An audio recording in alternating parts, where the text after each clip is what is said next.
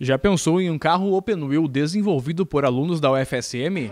Pois é isso que a equipe Fórmula UFSM faz desde 2010. Composta por alunos e professores dos cursos de engenharia da universidade, em 2017 a equipe lança o seu nono protótipo.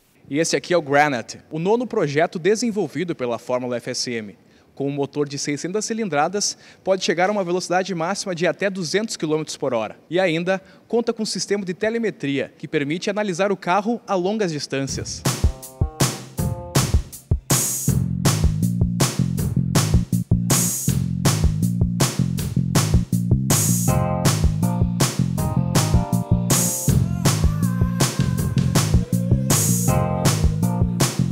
As equipes de competição têm um grande papel para a nossa universidade, onde os alunos conseguem pegar todo o conhecimento teórico e colocar na prática. E além disso, dá uma visibilidade externa muito grande.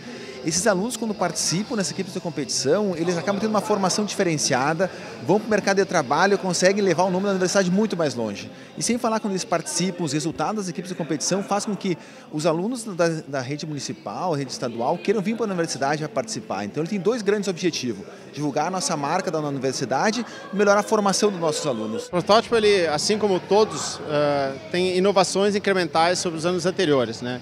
Então esse tem um novo sistema de DRS, de, sistema de redução de arrasto, uh, Drag Reduction System. Uh, inovações a nível de controle de ruído, um silenciador totalmente projetado para melhor controlar ruído sem afetar performance.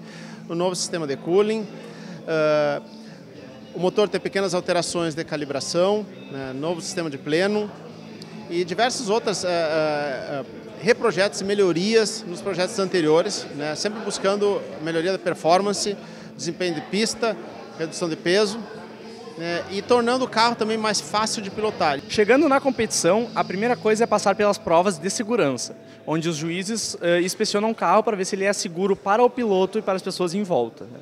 A partir disso, tem a parte uh, estática da competição, onde é avaliado o projeto por trás da, da fabricação, bem como os custos e a facilidade de fabricação do mesmo, certo? Após passar nos últimos dois dias, ele então vai às provas dinâmicas, onde ele corre uh, diversos tipos de circuito, e incluindo uma prova de aceleração e uma prova de frenagem. A gente buscou uma otimização no posicionamento dos tubos do chassi do novo protótipo, buscando adequar ele ao novo regulamento e trazer uma maior rigidez torsional ao protótipo, garantindo um bom funcionamento. E esse momento agora aqui, que é um momento de festa, uma de alegria, de lançamento de mais um protótipo.